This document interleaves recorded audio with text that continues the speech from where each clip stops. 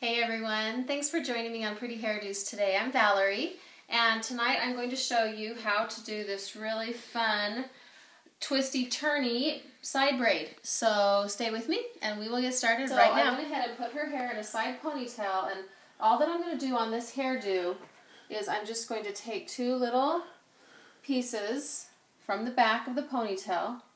I'm going to tie them in a knot like that. Okay.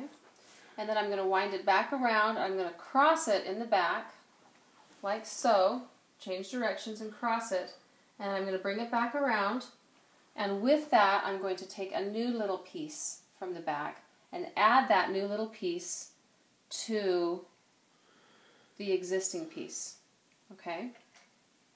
It helps on her hair to have it wet. It helps it be a little bit um, a little bit more manageable. So once I've added those, um, the new pieces of hair, I'm going to go ahead and just do another twist, another knot.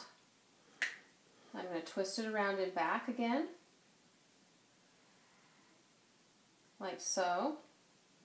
And then before I tie the knot again, I'm just going to pick up another little piece from either side and add it in. So it does have some elements of a French braid.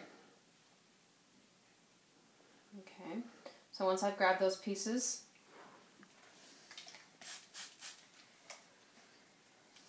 I'm going to pick them up and tie another knot, like so.